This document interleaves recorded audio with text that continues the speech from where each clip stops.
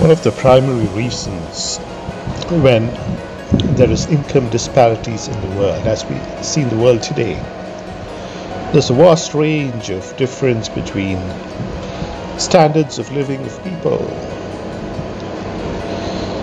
But when you refer to income disparities, it's not about income alone, it's also about the mindset.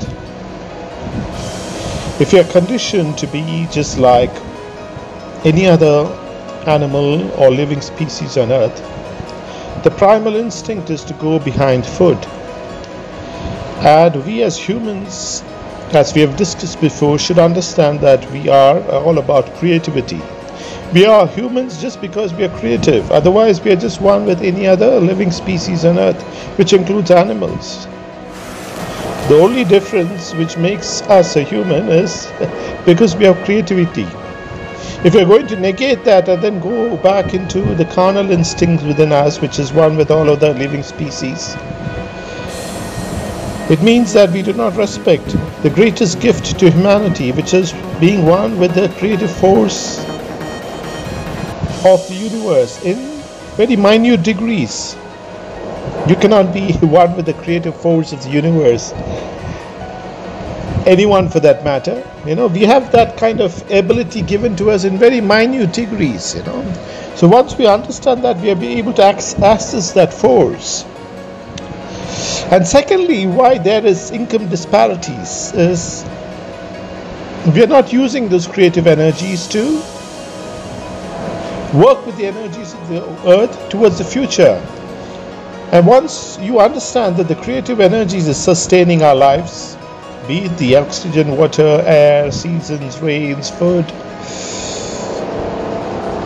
everything that we see around us in terms of the systems of life which nourish us, which includes why we are at present on earth because of the gravitational force. If that gravitational force was not there, we would be one with the space and we would be traveling at the highest speeds in space. So that's just a point of view, but that's the reality also. The gravitational force keeps us grounded. The energy of the universe powers our souls, keeping us alive, all of our cells working in our body. So once we begin to be grateful for these forces which contribute to our lives, we are we are moving into the creative force of the universe. We are no longer wanting, you know, and everything that is wanted on earth is being provided because our subconscious is being one with the creative source of abundance. That is one. The third thing is human made, you know. Now, humans have evolved over periods of time, and during the periods of time, there al- always needed to be labor, you know. There needed to be people working hard. There needed to be people, you know, producing food, moving transport, moving goods. And there had to be people with the right kind of mindset to get all of these things working. And according to their mindset, if everyone had enough there wouldn't be people to work in the fields. There wouldn't be people to work in the lubrication system of the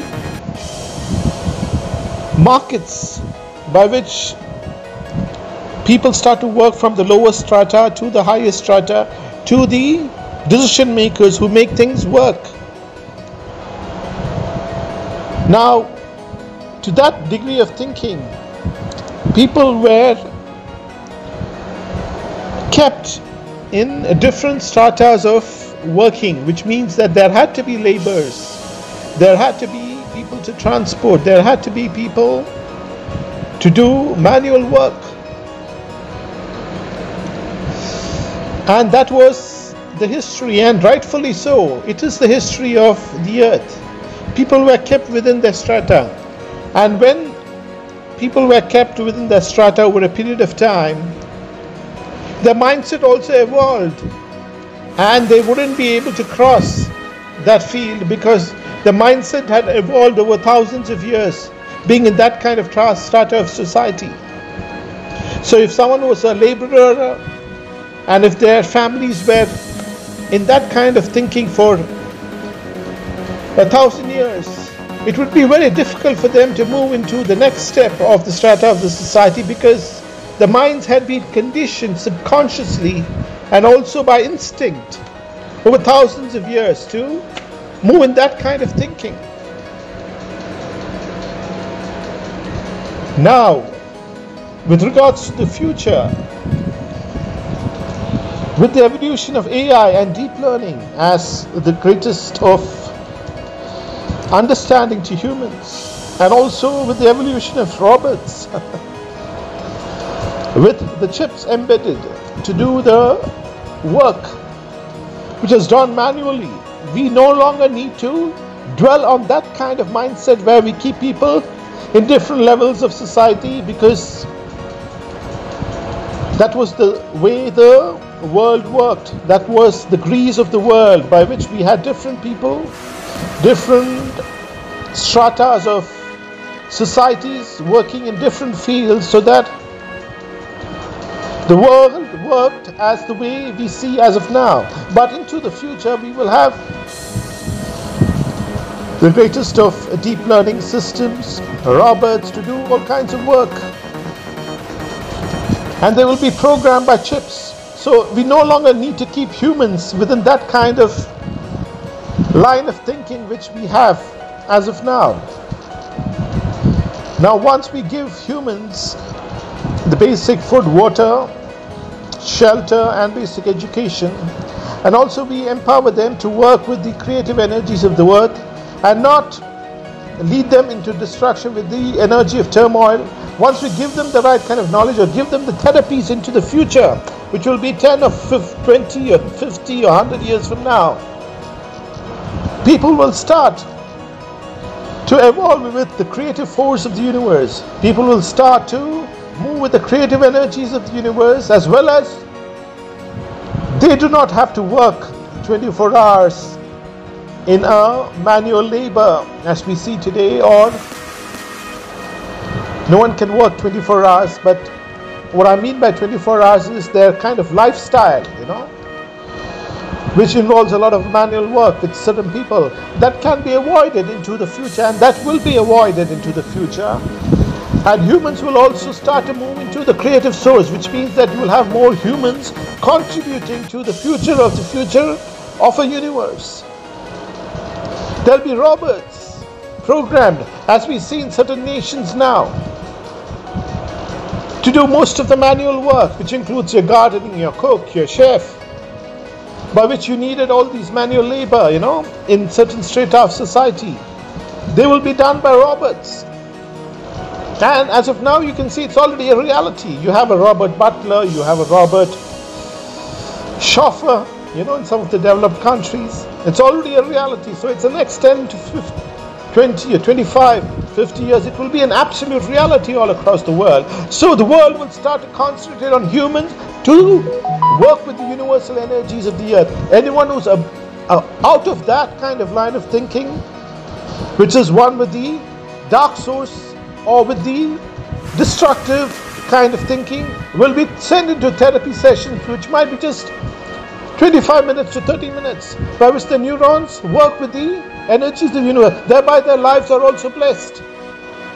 They moved away from the destructive source of themselves and moved into the creative sense of the universe, which is the creative life balancing force all around us. The oxygen, the wind, the water, everything which sustains life for our earth today, for the generations into the future, for the unborn child, for the new world which we conceive, which is already a reality as of now. We're in the beginning stages. In the next 10, 25, 50 years, you would see AI systems helping humans. You will find robots moving with humans. And humans themselves are also a part of the vast knowledge of the supercomputers of the world through the chips within them which is as of now just outside them on the phone. It will be within them so that they can access any kind of information at any time.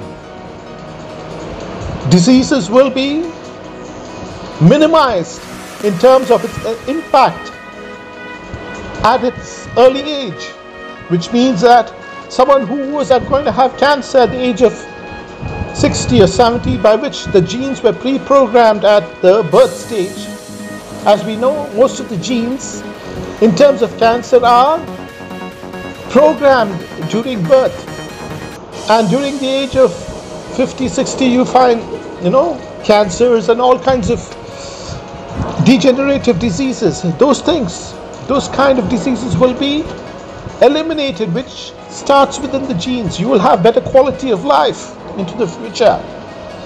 So let's move with the energies of the universe along with the systems of deep learning, AI, the greatest of chips, which is already helping us, empowering us, communicate, get information, move about places, get everything as we see in the modern world today, get us the best kind of entertainment, lighting systems, transport systems, all being empowered by the chips. And these chips will move into greater abilities, which will be thousands of times more. But the only difference should be in terms of human evolution and human progress and human prosperity should be that we work with the energies of the universe along with the greatest of deep learning systems, along with the greatest of robots, which will help us with the greatest of advancements into the future, along with us